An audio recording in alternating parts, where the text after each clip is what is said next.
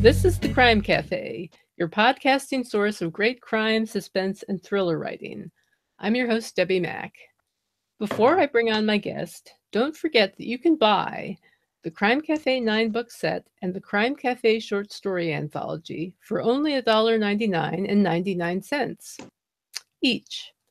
Just go to my website, debbimack.com, and uh, click on Crime Cafe, where you'll find the buy links. While you're there, please subscribe to the po- podcast on either iTunes or Stitcher. And if you're watching this, as you know, we're on YouTube as well. So you can subscribe to that channel. Now, having said that, it's my great pleasure to bring on best-selling author Vincent Zandri. Vince, I am so thrilled to finally have you on my show and to meet you this way, so to speak, uh, after so many years of our first contact online. So I know it's been so long. coming on. It's been many years, and I remember one time you you saying that you would love yeah. to meet, and uh, even though we haven't gotten to meet in person, it's nice to be able to do this. Oh, Deb, I was probably just flirting with you at the time. well, that's very nice. It's very kind, and I'm I'm quite um, I guess uh, what's the word? Uh, the um. Oh, you you, you can't even you can't even think. You can't you can't. It's You're speechless. You're speechless. I'm speechless. I'm Actually, awe.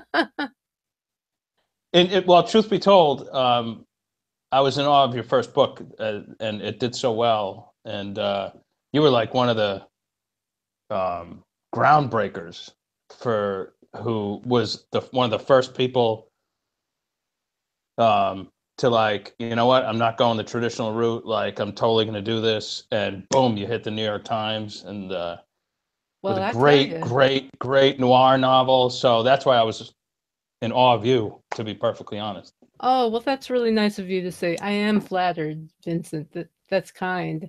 Um interesting that you bring up genre because um, how would you describe your writing in one sentence? Are you mainly a thriller writer, a noir writer, a mystery writer, adventure? Uh, if I had to sum it up in one sentence, I don't know. This might sound namby-pamby, but uh, I like to write what I like to read.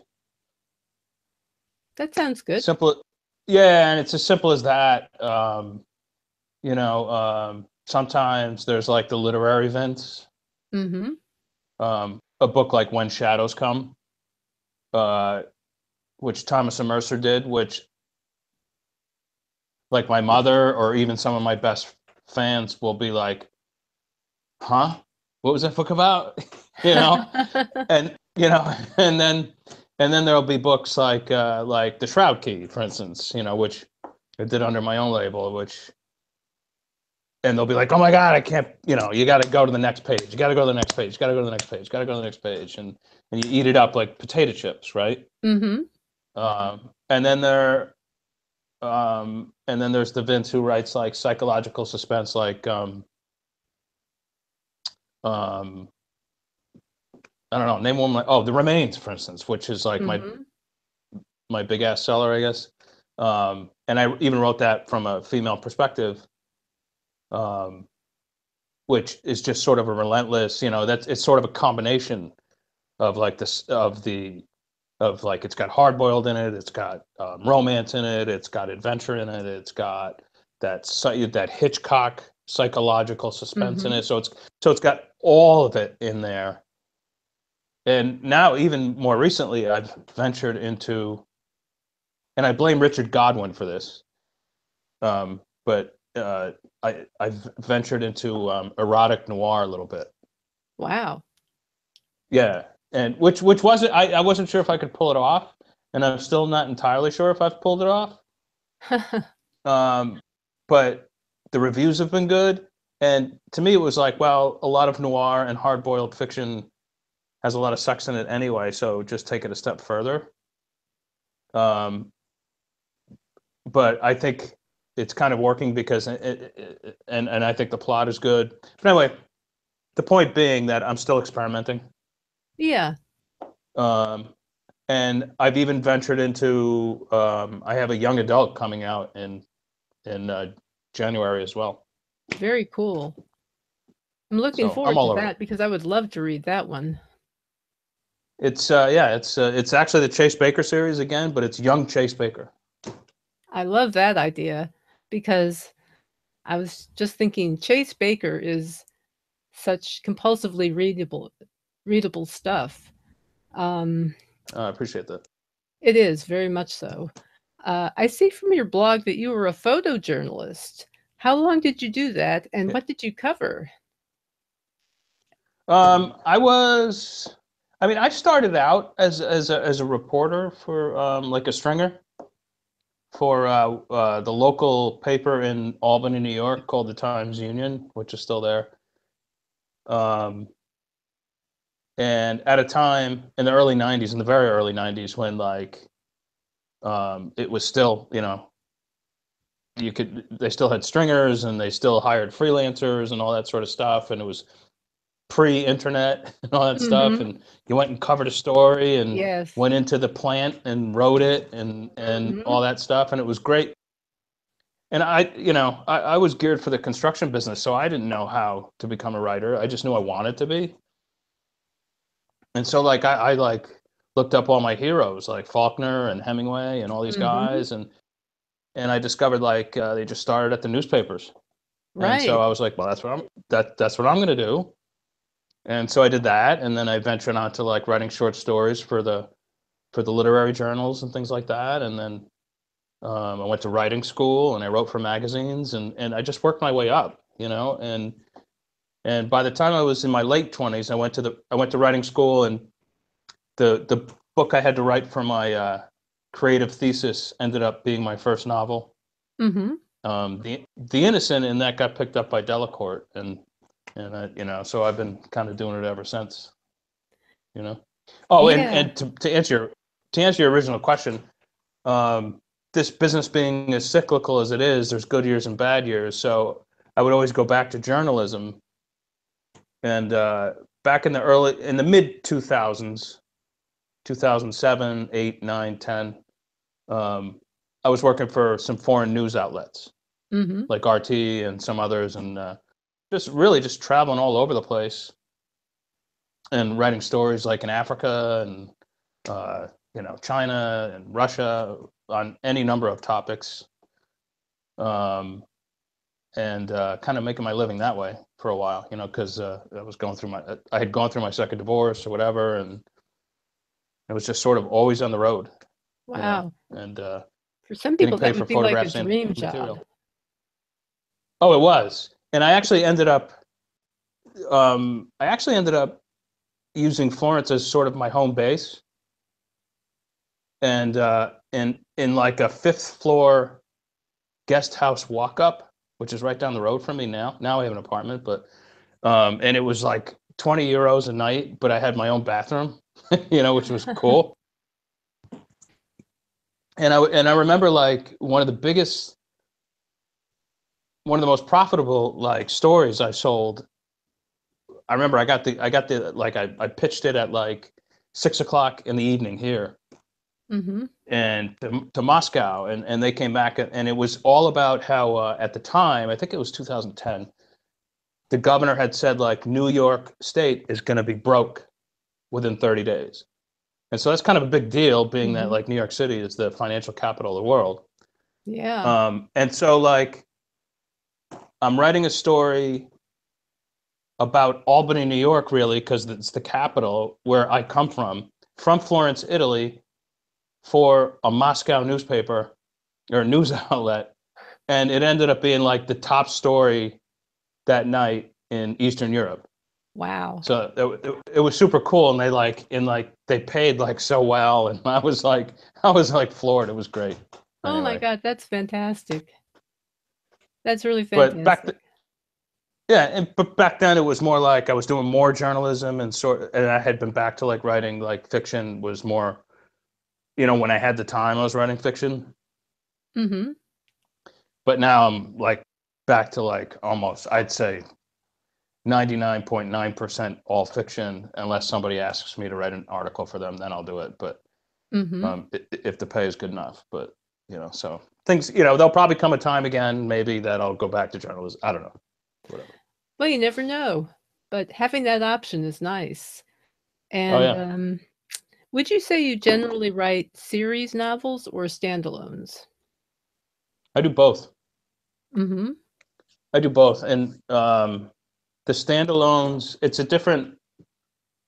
The series novels for me are like that's like fun. Mm-hmm. You know, like throwing my characters who I love. Um, I just love you know like throwing them into situations and they're funny and you know and you get to know their um, quirks and a lot of and so on. Yeah, you know, and what they're capable of and what they're not capable of, and and their you know I know their bank accounts, which are usually in the red, and I know mm-hmm. their you know their lost loves, and and but they're you know like I always try to I always try to portray a, um, a strong sense of morality with these these guys or whatever. Some of them are some of them are more political than others, and they like differ in their political views, and they're not all the same. But the standalones, they take longer. Um, they um, they you know it's you have to create a whole new world for them, as you know, and yes. and uh, it it takes a lot longer. It takes much more of an emotional and a physical investment. Um, it's much more like writing a, a literary novel. You know, the language has got to be right, and um, so so I just I'm actually finishing one right now called "The Girl Who Wasn't There," and uh, and I'm I think I'm like forty thousand words into another one that I don't have a title for. Um, but but it, it's a lot of work. That's one of the reasons I come to Italy still to write the novels because so like look at if like the house burns down, I, am over here. I can't do anything about it. but it's cool that you have a place in Italy. Very cool. Yeah. So. Well, um, you know, it's funny you bringing up uh, Hemingway and Faulkner as inspirations because I know that I was inspired by the likes of Hemingway and Faulkner, and uh, right. one of the things I thought I needed to do when I first started writing, I mean, when I was very young, I have old handwritten stuff that I did um, about Vietnam vets because I thought you know, wow. based on Hemingway, I thought you had to be like a war correspondent to be a real writer. You know what I mean? And right, right, um, right, sure. so I tried getting into the head of a Vietnam vet. And I look at it now and I kind of cringe, of course. But at the same time, I go, you know, I wasn't half bad. there was something no. there that nobody pointed out to me that nobody said, hey, you're the best writer ever, or, you know, Actually, that's not entirely true. I shouldn't say that. There were teachers who were very encouraging, but I wish I'd been a little bit more encouraged earlier on. You know what I'm saying? Oh, sure. I mean, um, I mean, what? I mean, did you always want to be a writer? Oh yeah, yeah. I've been wanting to be a writer all my life, pretty much. Um, from the first time I I started watching television, I mean, I knew there were right. people. I had this awareness that there were people who wrote it, mainly from watching right. the the uh, Dick Van Dyke show. no, you're so. Oh my God, you're so right. You're absolutely yeah. right. I remember my parents. I remember my mother saying like, "Oh, that's not you know like." Dick Van Dyke isn't so funny, or Mary Tyler Moore isn't so funny. They would always say, because my father was a musician too, you know, and he'd mm-hmm. play for some of these people. And they'd say, "Oh my God, the writers are so good." Mm-hmm. Yes. Yes. You know, the right the, it, the writers are so clever. and the fact that you had people doing creative work in your family is part right. of what goes into, I think, because my dad was right. a writer. He was a playwright. Oh, really?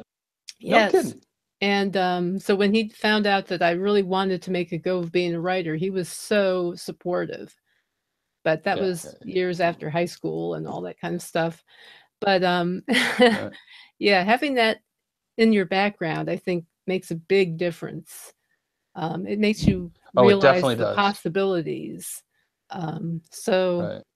so I'm always, you know, like encouraging younger people if they have any inclination toward writing, you know, keep doing it, keep doing it.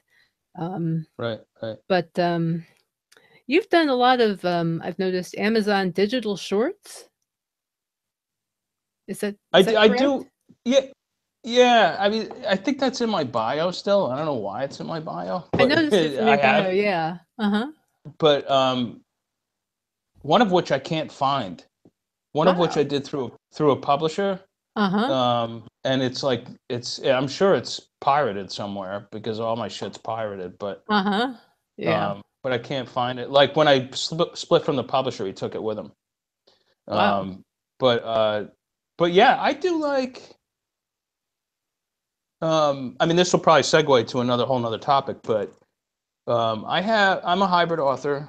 Um, I do I have contracts with traditional authors, or I mean traditional publishers. But I put out so much material Mm-hmm. that I pro- I I put out at least, at the very least, a short story a month or a month. That's cool. and uh, um, sometimes I'll run those short stories through other magazines first, and then when the rights are revert to me upon publication, then I'll put them up on like Amazon or whatever. That's a great Um, approach. Yeah, like my mo- plus it add, adds kind of legitimacy, not for the reader, but for me. Exactly. You know what I mean? Like exactly. like okay, this was accepted, so it must be okay. You know, like whatever. hmm Um, so I think the most recent short story I did was um, Bingo Night, um, which was in Pulp Metal magazine, I think, two months ago, and uh, which just recently went up. Um, and my short stories are long; they might be like thirty pages or something like that. hmm And sometimes the magazines that publish them have to do it in two separate issues hmm or whatever. But um, but that story, like many of my other stories, like uh, uh, just came out of the blue. Um, these numbskulls in Albany, um, there was a blackout, and these numbskulls in Albany decided to to uh, to like rob a, an elderly home. Oh you know, and of, and of and of course it went bad. You know, like totally. So I was like, oh my god, I totally got to write that. You know, oh my so, gosh. Things that are bingo night. truth being stranger than fiction once again. Absolutely. Oh gosh. Well, I'll have to take a look for those. You know, when I'm looking for things to uh, to consume from Amazon or or wherever I get it from. Yeah, you know, and I just like I, I it's one of those things. It's like uh, I'm firmly of the belief that like like the the modern writer, it's all about like content. You know, like if if if, you, if you're prolific, you're absolutely blessed because th- this can be a golden age for you if you're prolific. But if you're not, it, it's just as hard as it's ever been. You know unless you have that one book that that's making a kabillion bucks for you or something like that. You know? I, I agree with you that uh, the more you can write, the better off you are, and that's sure. that's true regardless of what kind of writing you do. It's all about the content. Um, Right. let's see. Oh yeah, let's talk about Chase Baker because, like I said, I find it exciting reading. I mean, it's the kind of thing I've been reading your stories as written by Ben Sobiek, actually. oh, do you like uh, Ben's? Ben does a nice job with those, and I got to tell you, Oh yeah, he's um, great. It's like looking at kind of like those old matinee movie serials, you know, where there'd be a cliffhanger at That's the end and you'd have about. to come back next week. And I'm like, oh my God, this is like Yep. action adventure from the 30s or something. And uh, Yep. but it's but it's modern. And um, Yeah. so uh, what That's what they're all about. what inspired you What? It, to write the Chase Baker? Was there a particular uh, type of writing or movie even that inspired you to write these? yeah. uh, Well, I mean, I was one of those nerds who. Well, I was never a nerd. scratch th- scratch that from the from from the record. But but okay, yeah. But I was one of those guys that like as a young teenager, I think I saw Indiana Jones and the Lost Ark or the Raiders of the Lost Ark. I think I saw it like a record like 15 times or something like that. oh my gosh, yeah. I, I'm not kidding. Like I, I, I was like when I, I was like I, I love this. Uh-huh. I love this. And so it, it did two things for me. It like it like gave me this sense of adventurism that that still to this day I just can't get enough of. Absolutely. And uh, number two, I was like, yeah, and number two, I was like, I gotta, I gotta come up with a character, or whatever. So, um, and get into this action adventure thing, and it took years, years, because I, I wasn't gonna be Clive Cussler. I, you know, and I was like, what, who can I come up with? And uh, and I went down to where'd I go? I went down to the Amazon, and um, someone had spoken to me about um, this guy um, who was a guide down there, and he was sort of based or like he had his his hero was Hiram Bingham, and there was a movie based on Hiram Bingham that came out in the fifties called Secret of the Incas. Hmm. And it was star and look it up on Google, Secret of the Incas, and it starring Charlton Heston, a young Charlton Heston. It was made in 1954. And isn't it funny that in this movie, Secret of the Incas, Charlton Heston is wearing a fedora. He's got the leather jacket, the boots, the pants. He's a tough guy. Um, and it's actually even like, which is more true to Chase Baker, he's even like kind of a male prostitute. And I'm not kidding. oh my gosh. Um, but clearly, clearly the inspiration for Indiana Jones. Wow. And then I did a little I did a little research on it and I found out that Steven Spielberg had bought the rights to that movie for 30 years. Like it could not be shown anywhere. Oh my gosh. And finally it had come out. So um you know, when I saw Secret of the Incas, I was like, all right, I obviously I can't I can't write a Dan Brown character because that to me is I, I I'm not that crazy about that character, but I can't write Indiana Jones; it's already been done. But I can come up with a character who is sort of like this writer guy and has a background like myself, which is like a construction background. So he's like a digger. Mm-hmm. Um, and he's got an apartment in Florence and he's got an apartment in New York and he's he's always unlucky with the ladies, but he's just got this passion, this and he's got a daughter just like me and and mm-hmm. he's got this passion for like going after like either lost treasures or lost people or whatever. Um and so like i was literally walking around florence like five years ago and i came up with him. And i was like his name's and i was like trying to figure out a name. And i came up with um the first street i ever lived on baker avenue and then mm-hmm. I was like, I gotta have a good first name for him, and it was Chase. And it turns out there's a Chase Baker who played for the New York Giants, you know, so or whatever. Which I've never heard from this guy or anything like that. But and then I and and I love like biblical themes and like controversy there and whatever. And, yeah, yeah. Um, and so I came up with the Shroud Key and like the mortal remains of Jesus. And so of course, like the book is like panned by some people because they're like, oh, even just the suggestion of the mortal remains um, goes against right. the whole Christian doctrine, right? Um, but that's not the point of it. In fact, if anything, if anything, um, he has like you know maybe there is no mortal remains, or maybe there is. You have to read the book, of course, but mm-hmm. um, but the book has taken me like, I mean, I've almost died writing these books, and I'm not kidding. I mean, I've been all over the world writing these books. The most recent one was in Central America, uh, where I was doing where I was caving and climbing and all this sort of stuff. This is back in June, and I caught such a bad su- such bad food poisoning that like I it was the first time ever I thought like you know I should have been hospitalized. My gosh. But I but I wasn't about to. Yeah. You know, go to a hospital there or whatever. Uh-huh. Um, but the point of part of the point of the books for me is is like I want the readers to be, to feel like okay, this guy has been to these places and he's done a lot of the things that are in these books. Um, as opposed to you know he didn't just Google this stuff. You yes. know what I mean? Yes. So they do hopefully have that, they have that feel of of of authenticity to them. I have to say. I and, hope so. They do, and they're so exciting to read. So, thank you. Tell us about the latest book, The Shroud Key. Well, The Shroud Key, actually, that's the first one in the series. Oh, that's the first one. Okay. That's the first one. That's the one. Uh, that's the one that we're giving away. I think. Actually. Yes, today. that's right. Tell us about the Shroud Key. The Shroud Key is the one. Um, that's the one about the search for the mortal remains of Jesus. Oh, okay. Um, takes place. I mean, it goes all over the place. It goes from like uh, it goes from Florence to Rome to uh, uh, I think maybe Jerusalem. Does it go to Jerusalem? I'm not sure. Um, but I have been to Jerusalem to study some of these novels. Um, Mhm.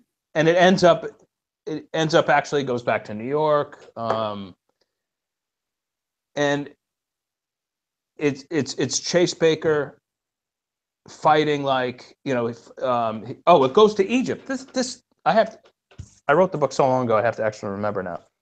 I actually went to Egypt during the revolution hmm um, to do research on this. And uh, one funny story is there was no one, no tourists in Egypt at the time. And uh, I ended up uh, going into like the third pyramid in Giza hmm um, all by myself. And I climb all the way down in, and there's just there's just nobody there. And so you're all alone inside this pyramid. And so so I decide to like get into the sarcophagus and lie down inside it. And I'm staring up at like not only like, you know, five or six thousand years of ancient history, but like tons upon tons upon tons of this this granite and stone and like hmm so that was kind of a trans transfixing and transformative moment for me in the research for that book. But uh, wow. but it's all about like you know I trailed like I I went on the you know the hunt for like how Jesus went you know Jesus went to uh, Egypt and then you know his travels and wherever he ended up and of course he ends up in uh, um, being crucified in uh, in Jerusalem and like is it possible that there's an ossuary with his bones in it because they have found the ossuaries of his brother James and they found the ossuaries they claim of uh, Mary and Mary Magdalene and all this. So is it possible that Jesus, Jesus's bones were there as well? Um, you have to read the book, but um, one of the big things, the map for him, the map for Chase Baker, is none other than the Shroud of Turin. hmm And if you look at the Shroud of Turin, and this took a lot of research as well, there's actual there actually are maps on the Shroud of Turin. It's not just Christ's body, but there are actual maps, and part of that map matches that the matches almost to the T the layout of the pyramids of Giza Wow. and even the minor pyramids that are right beside it. And actually, it's true; it does. That's fascinating. Which, which also mirrors the Belt of Orion. That's really fascinating. Yeah. So it's got all that in there. So if you if you love that stuff, which I do, give it a read. And it's a fast, fun read. You know. I have got it's not a- it's- this book. Yeah. It, it's a lot of fun. So. That's fantastic. Wow. Is there anything out now that you would like to uh, talk about? Um, the latest is Chase Baker and the Spear. Uh, here it is, actually. Chase Baker and the Spear of Destiny. Cool. This is the latest. This t- actually takes place in Rome, and it's all about the spear of Longinus that that uh, the spear that Christ pierced side, or the the spear that pierced Christ's side when he was on the cross. Hmm. Um, and it's all about a, uh, and also based on fact again, uh, based on a uh, a Nazi who wants to start the Fourth Reich, and he was one of the one of the original guys who found this back during the Third Reich, and uh, he's still alive and wants to start the Fourth Reich, and so Chase has to go after the spear. But what happens in the meet, the, the spear is actually broken in two parts, and Uh-huh. the Pope has part of the spear around him. Huh. And so what what the what the what the neo Nazis do is they kidnap the Pope, and Chase has to Chase has to get the Pope back. Does the bad guy's face melt at any point? yeah. Oh, all sorts of stuff like that happens. you know. Fun. Uh, let's see. Oh yeah, if any of your work was adapted for the screen, who would you picture playing the main character? Oh boy, I'd make a good Chase Baker. No, I wouldn't actually. I'm too, actually, I'm too short. Um, although Chase is not that tall either, but you know, it's a good question. Uh, actually, um, it, uh, you, you might have to help me on this. I don't know. Um, who would be a, who would be a good Chase Baker? Uh, Harrison's a little long in the tooth now, I guess. Yeah, he's long in the tooth, and he's he's Indiana Jones. So how about uh, think... Ryan Gosling? What do you think? No, he's too blonde. Too blonde. Mm. He's too blonde. It's got to be more like. Uh, uh, let's see. Um, how about Kevin Spacey? No, he's he's done. oh dear. Actually, he's he's probably available now. He probably like, yeah, I'll do that. I'll do it. I'll do I'll do it for a hundred bucks. yeah. Poor Kevin. I mean, yeah. sorry everybody, but really, I mean, yeah, yeah. I'll do it for a hundred bucks. I'll do it for fifty bucks. you can get them cheap. Yeah, there you go. Yeah, you can get them cheap. Um, um let's. See. I'm sure as soon as this interview, I'm sure as soon as this interview's over, I'll, I'll, I'll totally think about it. Um, I don't know. Yeah. It'll be good. I'm not up on my like actors. Oh, there's mosquitoes. You know what? Florence is Florence was built on a swamp, and there's mosquitoes all over the place. Like uh, Venice, built on all those uh, wetlands. Yeah, and the canals. Yeah, there's a lot of bugs. Yeah. A lot of bugs, eh? right. So who would be Chase Baker? Um, I, you know, um, it'd have to be a guy like between around fifty. Uh, Matthew Johnny Depp's too maybe. Johnny Depp's too expensive. Brad Pitt is Brad Pitt. He's way beyond. He's too expensive too. Um, I was gonna say Tom Cruise, but he's too expensive. Tom Cruise, yeah. Um, no, nah, it couldn't be somebody like that. It would, you know, it would have to be kind of like, because like like Harrison Ford for Indiana Jones, he wasn't the first pick. It was Tom Selleck hmm. was the first pick. So like I would prefer like like somebody who's just like you don't really know you don't really know of them, you know. Mm-hmm. Um, and then he just a newcomer. comes out. Sort of a newcomer, yeah. That'd be cool. Is it? And, and that's a that's a good way for me to get out of this question. well, it's a fair answer in my opinion. Can you tell? Can you tell I'm not like I don't have my my my my finger on the popular culture pulse? because I understand. I know where you're coming from entirely. A lot of my favorite yeah. movies are really old movies. So me too. Me too. Yeah. What can I say? Uh, right, is there anything right. else you'd like to add before we finish up? Uh, nothing. I mean, I think if anybody wants to check out my books, and I would totally appreciate it, is uh, just go to www.vincentzandri.com. Uh, and you have a really cool blog and and my blog is the Vincent Zandri Vox. I um, it does very well. I, I I try to I try not to make it too political or anything like that. I'm not getting into politics, but uh, but I write about all different types of topics, and I try everything from the writing life to the tra- to traveling to whatever just happens to be on my mind. I think that's time. great. That's cool. Blogs like that it. really intrigue me. Those are the ones I like cool. to read. Right, and you you too. You have a nice blog. You, I love your website. I, I well, thank you very your, much. Your website is inspiring me. I need a new website. Oh, thank you. Well, you You're inspire welcome. me as a writer, so. The, oh, thank you, thank, thank you. you. and thank, thank you. you for having me. Oh, it was my pleasure. Believe me. Thank you for being here, and Thanks, um, sure thing. And with that, I will simply say, uh, remember to check out the Crime Cafe um, nine book set and short story anthology. The buy links you can find on my website, debbimack.com. D E B B I M A C K, no E after the I in Debbi.com. And go to the Crime Cafe link to uh, find the buy links as well as the subscribe buttons to the podcast. And you can find Crime Cafe merchandise there too. So until next time, have fun reading, and I'll see you in two weeks.